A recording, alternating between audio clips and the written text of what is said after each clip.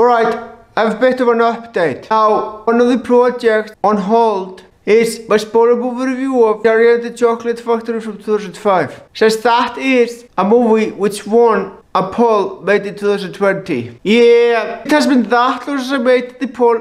It's not really worth it anymore. That is far too damn long. A video should only be made shortly after the poll is made because yeah, why the hell make a spoiler movie review a few years later that has to do with one a poll. Yeah, it's not fucking worth it. There's no point in something dedicated by a poll so fucking long after. Oh, and by the way, I started working on that video on April 21st, 2020. And I haven't even started the actual fucking movie since then. So yeah, you get my point. This officially will not be happening anymore.